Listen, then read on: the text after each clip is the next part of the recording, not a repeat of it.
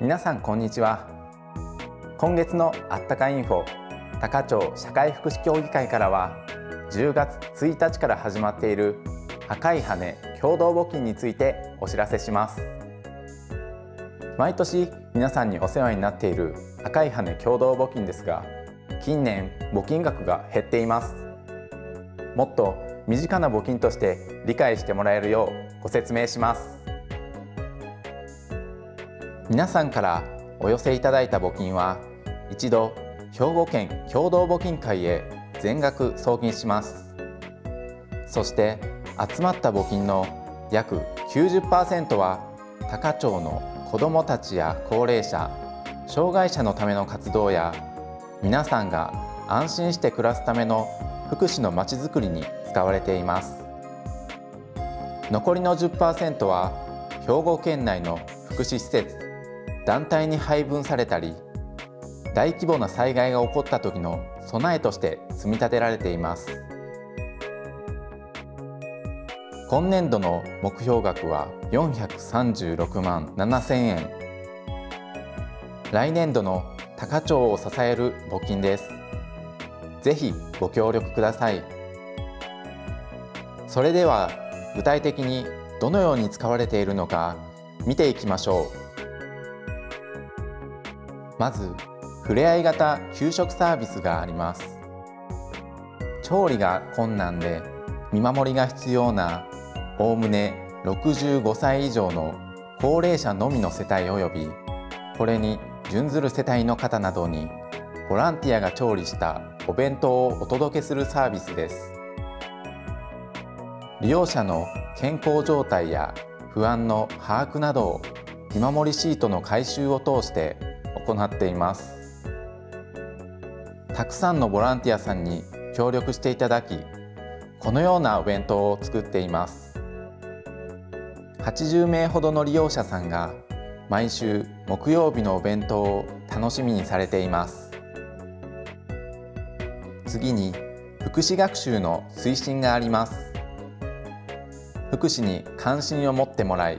みんなが安心して暮らせるまちづくりを進めるため福祉学習を推進しています。ボランティアや当事者などの協力を得ながら地域や学校で車椅子体験やアイマスク体験防災や介護保険制度などの学習会を行っています。他には買い物ツアーがあります。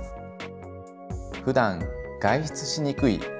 おおむね75歳以上の高齢者のみの世帯を対象に区ごとに毎月1回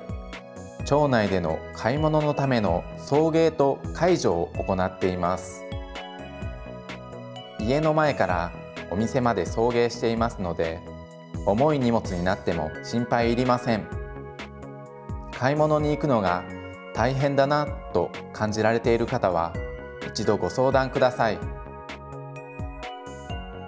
一人暮らし高齢者の集い虹の集い地域見守り訪問障害者の事業所とボランティアの交流地域福祉活動助成金社協祭り介護者だよりこれらの事業も皆さんからいただいた赤い羽共同募金を活用しています。近所のお年寄りも学生も高町に住んでいる誰もが赤い羽共同募金を通じて支援し支援されているということを少しでも分かっていただければと思います。詳しくは皆さんのお宅にお配りしている共同募金のチラシや社協だより10月号をご覧ください。募金箱は社協本部や各支部役場や地域局に加え町内の郵便局や金融機関商店飲食店などにご協力いただき設置しています。赤い羽の絵が描いてある募金箱を見かけたら支援できる範囲で構いません。ぜひ協力お願いします。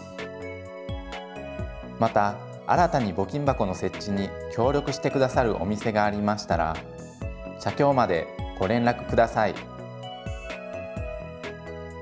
皆さん一人一人が地域福祉に関心を持ち募金活動にご協力いただきますようよろしくお願いします。